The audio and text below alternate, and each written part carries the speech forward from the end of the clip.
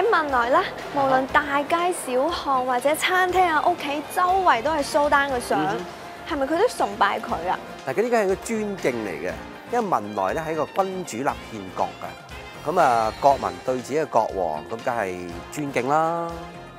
蘇丹咧佢自己咧做埋呢個內閣總理嘅，咁啊所以又有權力啊，有威嚴啊，咁啊同其他嘅君主國咧係唔同嘅。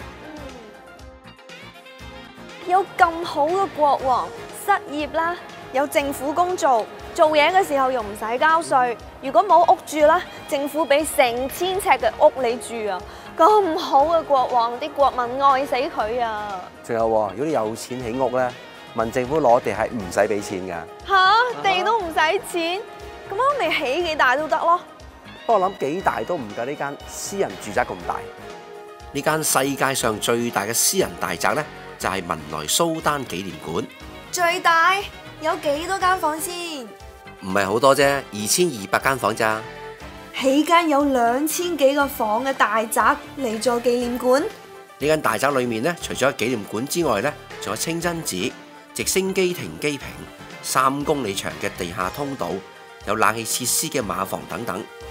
而紀念館呢，就係為咗配合蘇丹登基二十五週年紀念而建造嘅，裏面有好多國王嘅私人珍藏物品俾大家參觀。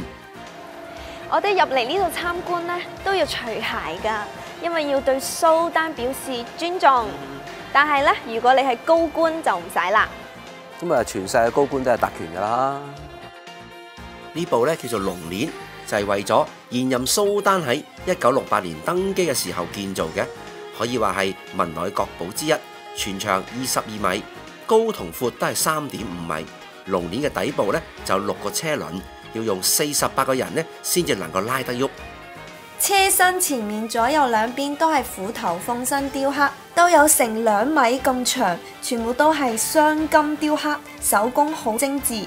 座位上面就係鋪咗一塊虎皮。個龍鏈咧就蘇丹登基嘅時間用過一次嘅啫，咁啊而家我哋中國廣西咧就有一部。吓，唔通龍鏈都有 A 貨？啊，其實就係咧喺零五年咧呢個東盟博覽會嘅時間咧，蘇丹咧複製咗一部咧係送俾中國嘅啫。哦。皇帝出巡就唔少得隨身侍衛。